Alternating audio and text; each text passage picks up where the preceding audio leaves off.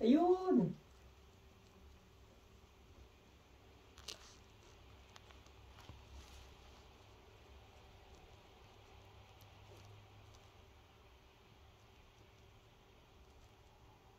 Diyos plus sign lang pala ano. Kailangan